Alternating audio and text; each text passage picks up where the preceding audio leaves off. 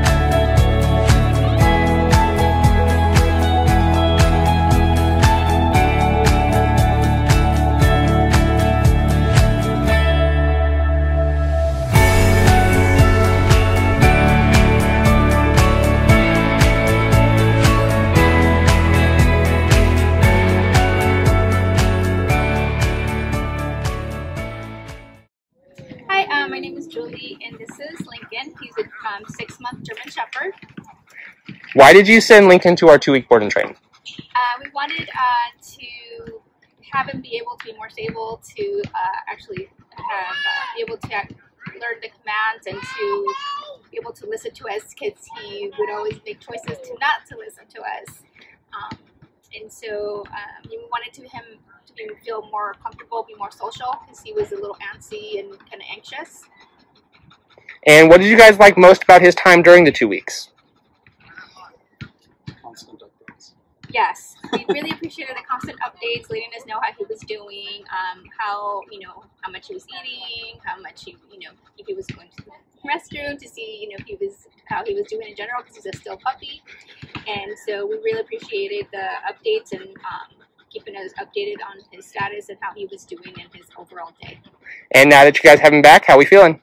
Uh, we feel great. We're really excited to have him back. We're really happy, and um, we're um, overall very happy to see that he's done um, so great with the program. He's really, I think he has learned a lot, and he seems a lot more confident and more uh, comfortable around other people.